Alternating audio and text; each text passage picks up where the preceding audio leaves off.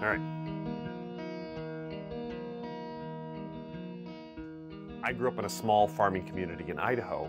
I'm one of nine siblings. We grew up way below the poverty line. And in high school, when I got a job, I'd actually take my paycheck and I would give it to my mom to be able to help buy groceries for the family.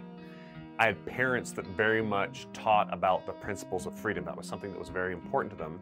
I also went to a little private school that today's equivalent would essentially be like um, a larger homeschool co-op where um, my uncle taught, and he taught about watching the patterns of human behavior and of civilizations over time, of what brings peace and prosperity and what doesn't.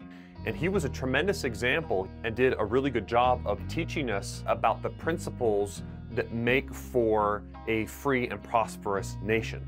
As kids at an early age, we learned that if we wanted things like toys and, and bikes and cool stuff like our friends had, we had to go out and earn that because that wasn't going to be provided for us. So we learned to work hard, we learned to start little businesses, and a lot of what I saw firsthand in the experiences of doing different little businesses and having different entrepreneurship ventures was that through the principles of the free market, you could rise above your situation.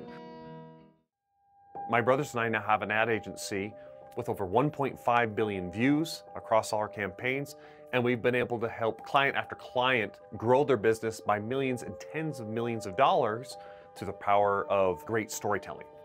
Years ago, I was introduced to Connor Boyack because we ran in like-minded circles.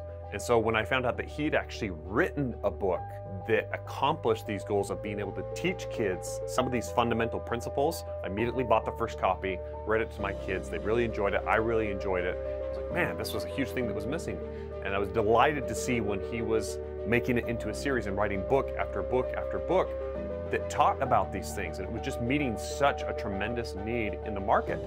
So when Connor later announced that he was thinking of turning his book series into a TV series for kids, I was like, that's a brilliant idea. And eventually we approached him here and said, hey, we feel like we're the ones to do this. We've got storytelling chops with all these blockbuster ad campaigns we've done.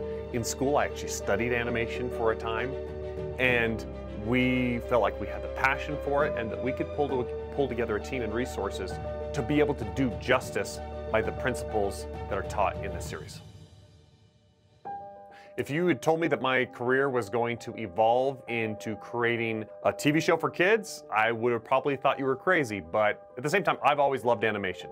So a lot of what I'm creating here is not just a show that I think my kids will love, but a show that I think I'll love myself.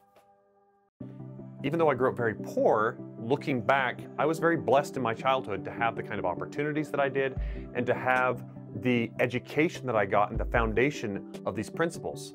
Not everyone gets that kind of education. It's not being taught widely within schools. A lot of parents don't even know how to teach it.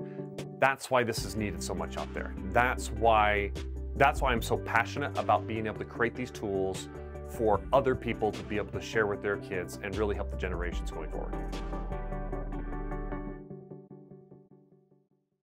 There are principles that you can come back to um, that you, there are principles you can come back to, and there are, um, and that that's good. Sorry.